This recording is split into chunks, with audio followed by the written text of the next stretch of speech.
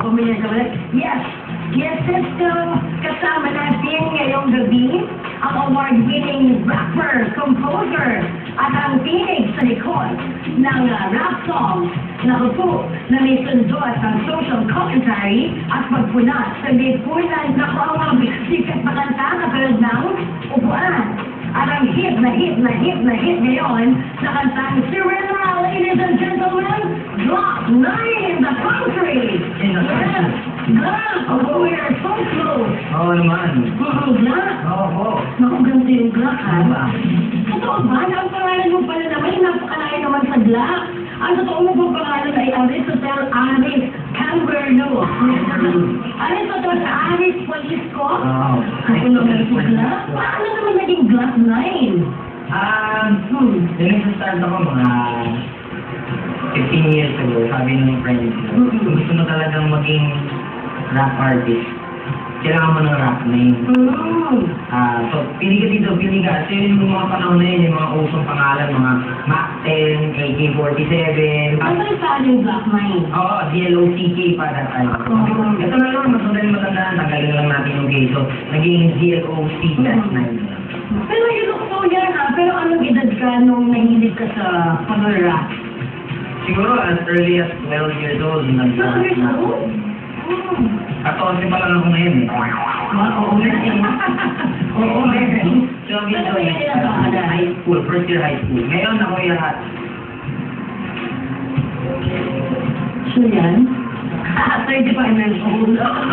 Sinabi mo lang. Hindi ba na sure 35 na?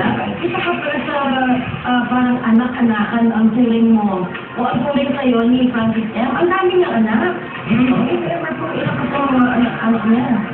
Ako yung pinakamatanda eh. Ako kayo pangalan. Ay, ito marami. So, ang nakailangan ka pala ni naman mo Um, Francis M. honestly, nahihiya akong ano yun yun. Ano yun?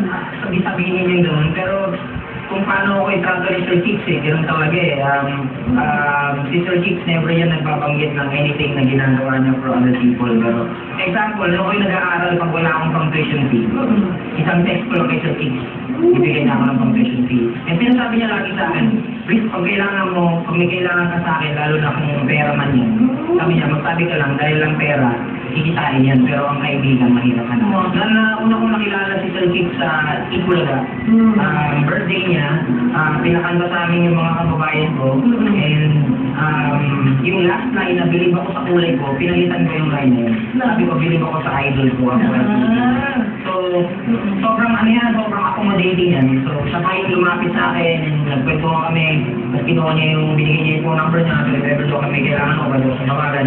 Yun yung reason kung bakit ako meron dito song na ang title, Alalay ng Hari.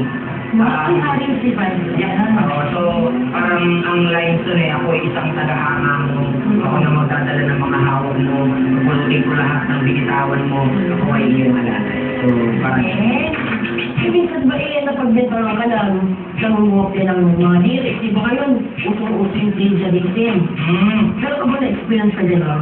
unang-unang bagay, kapag ikaw ay maging rapper, unang rule, huwag ka kokopyan. Kasi kung rapper ka, dapat galing sa'yo Hmm. ang mga ano, binibigas mong words. Pag-usapan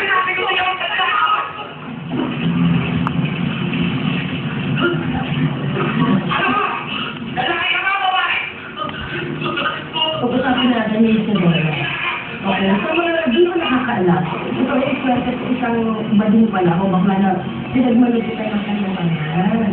Okay, so, meron sa bandang huli, na nagkakasakit ka ng tatay, yung bakla na anak niya, siya yung nag-alaga. So, ah bakit mo naisipang ihalin tulad sa isang bading o bakla yung kanta mo ni Serena? Lagi ko sinasabi yung mga songs na sinusulat ko, um, um, well, obviously, hindi ko sa personal experience. Ah, pero, nagsusulat din ako ng mga nakikita ko sa paligid.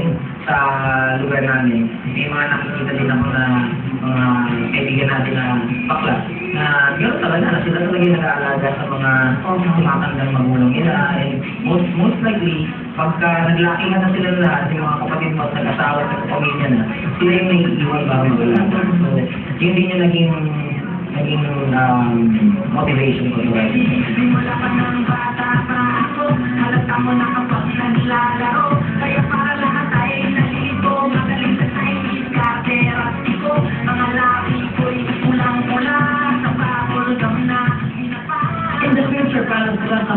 chain. Para sa amin naman yung mga flash times. Gano'n na. Mhm. I hate you.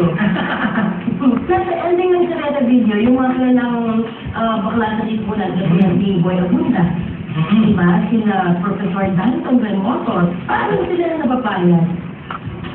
Um, yan po ay ah, dahil sa tulong ng aming kaibigan si ah, Ina Santiago, Ina Stuart Santiago. Pinarinig niya actually ito um, sa kanila. Ako, nung una namin ibitawan yung sirena sa public, parang hindi ko alam kung ano magiging reaction ng tao sa song. Kung meron man akong um, kakabahan na mga taong makikinig ng song, eh yung mga grupo nila, nila Sir Boy. I'm very, very happy na, na, na okay yung dating sa kanilang song, hindi sila na-insulto. Pwede ka ba bang gu- gumawa ng mensahe na may patama o may tamang balita? Ayan. In a rap style. Para mag-ingat at kukurap sa tao na kanyang likod ng ginagawang harap. Tutungtong sa entablado at makikiharap dumudura ng mga kasinungaling ng masarap. Pakinggan para awit tilalangin na sa tono, pero ang kanyang ugali, ugod ng sintunado, tituladong, bugadong, lilinadong, mabait. Na isang dosen ng anak sa patong-patong na kapit. Di malunok ang pahit, parang di ka nahihiya. Napakarami ang gutom, pero di kayo nakahiya. Wow! Very good! So great! Of course, maybe. At ako po, siglak na, bili po kayo ng aking album, ano, Universal Records, mga kwento na makada. Para sa may tamang balita. Isang sirena, kahit anong Thank you.